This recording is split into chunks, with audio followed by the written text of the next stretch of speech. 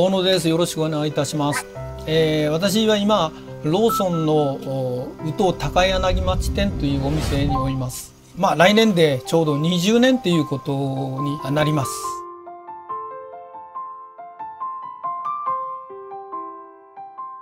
最初にあった2016年の4月の14日の時が21時でしたのでお店にはおりませんでした家族構成としては家内と男の子が2人おりましてえー、2人とも店長をやってます。まあその時にあの連絡がつきましたのでこの時点でお店を4店舗運営してたもんですから2人をすぐ、えー、店のところに行かせまして状況を、えー、私ども私の方にあの連絡するように、えー、やってます。4店舗のうちの3店舗はあもうあの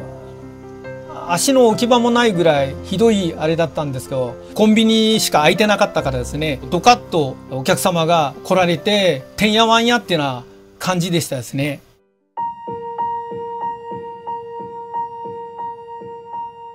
私のお店は住宅地でございますので、近隣の人たちとうまくですね、情報の交換って言いますか、情報がうまくいってましたので、えー、集会なんかも持たせてもらってから、あの、石の疎通って言いますか、そういうのがやっぱりうまくいってたことがいろんな面でその助かった要因になってるかなとは思ってます、その時はですね。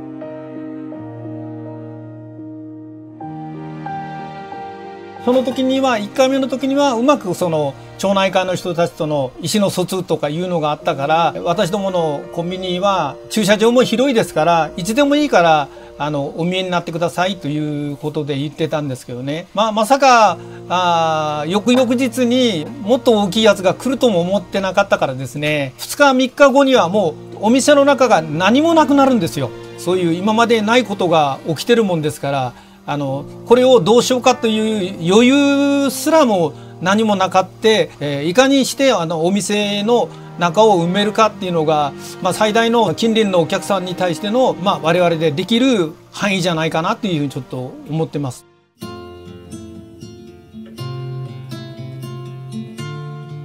通常に考えた場合にはお客様っていうのは買い物に来られてな何がどこにありますかとか何をちょうだいとかあくまでもお客様とお店の人っていうような感じでそういう会話しかなかったんですけどこういう状況の中では話題がやっぱりその同じって言いますか「わ店何もなくてよかったね」とか「私ん時私んとこは高校だったとよ」っていうような感じでで「あオーナーさん久しぶり会いますね」とかですね。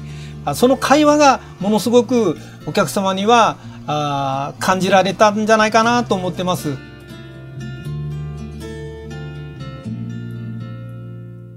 連絡網っていうのはあ近隣ではあったんですけど私どもの方のお店には店長と副店長は、まあ、ある程度あったんですけど住所と名前を知ってるぐらいでそんなにはあ突っ込んだこともなかったかなと思ってるんですけど、まあ、そういうのがあったもんですからその後の何年後ですか23年後にはまず全体の店長と副店長の LINE ですかねいろんな情報を LINE を通してクルーさん全員にね連絡網っていうのができてるって言いますかその時のことを考えたら大きく成長した部分じゃないかなというちょっと思っております。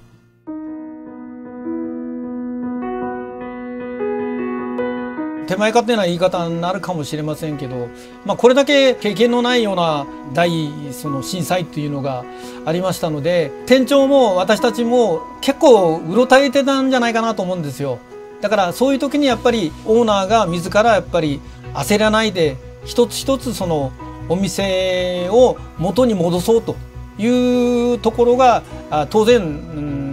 考えてやっていかないいかないし当然その本部からの支援も来ていただいてるんですけど全員がやっぱりもうどうしようもないぐらいあの働いてたんじゃないかなというふうに思ってます。でその時にやっぱり一つで大事なことは常にやっぱり店長オーナーがきついかもしれないけどやっぱり笑顔って言いますかこういう窮地に立たされた時にみんな自分も同じようにあの恨めしいような顔しとったらいかんなっていうことを思ってましたので、えー、とにかく、えー、励ますためのその笑顔っていうのが大事じゃないかなというふうにちょっと思います、ね。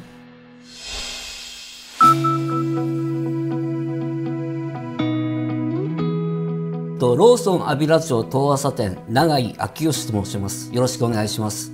えっ、ー、と立地的にはですねえっ、ー、と白かというと街道立地っていうふうになると思います。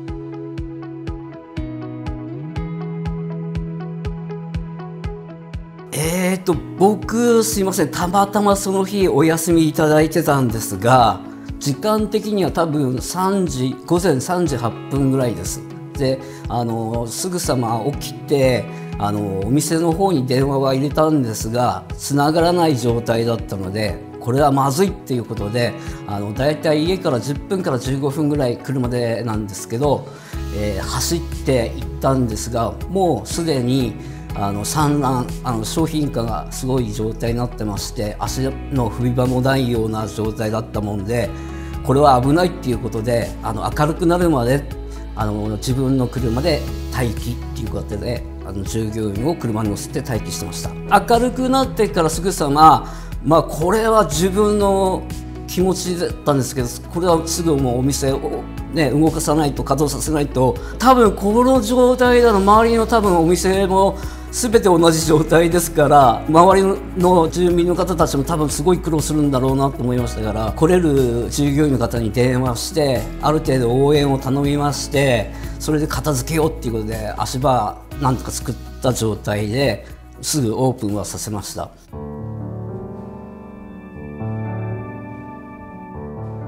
近所も全てだから水も使えない状態ですからお客様が来てくれてやっぱり用を足したいっていうかトイレですよね。トイレが最初なくてすごく困りました仮設トイレ設置してもらったんですけどだいたい僕考えて5日ぐらいかかったかな。今もやっぱり思うのは電気と水は絶対ですね。あの最初自分の車の充電できるタイプ一応 PHV っていうタイプの車なんですけど車から電気を引っ張る動作っていうのも分かんなかったんですよ。で慌ててディーラーに確認取ってどうやったらこれ電気引っ張れるのっていうのを聞いてからのスタートだったもんでちょっと時間はかかっちゃったんですけどポットも全部そっちの方から充電電気引っ張ってポットであの要するにレジ生産の代わりに使うようにしました。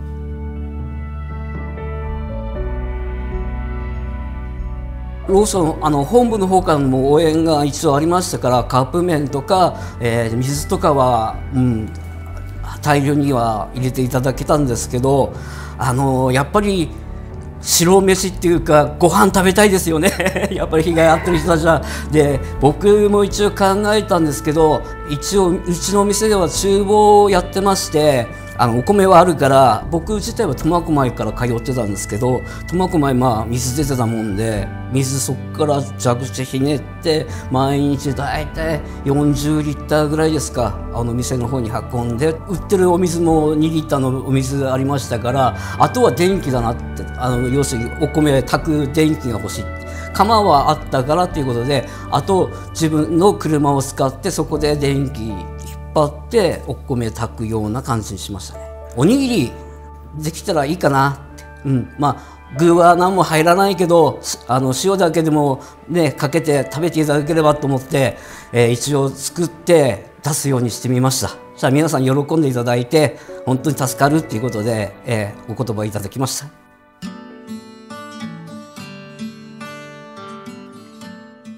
いや水こそはやっぱり売り物で今もある状態ですからそれもだから結局のとこは普段売れる量以上に確保しとくっていうか多分そういう状態になってるとは思いますこれはまあお願いになってしまうのかもしれませんけどできることであればあのクリーンエネルギーですか、えー、この設置っていうことで太陽光パネルとかでもなんかあればっていうふうに思いますね。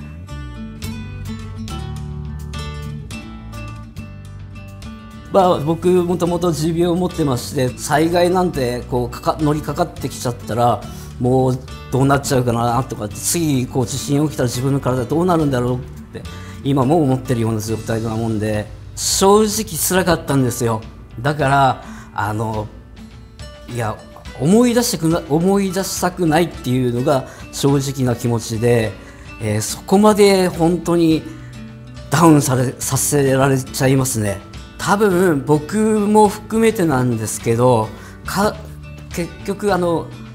オーナーさんっていうのはある程度まあ年配の方が多いのかなと思われるんですよね。ですからまあそう焦らずですねゆっくりと体が絶対資本ですので、えー、自分の体を壊さないように、うん、やっていただければと思います。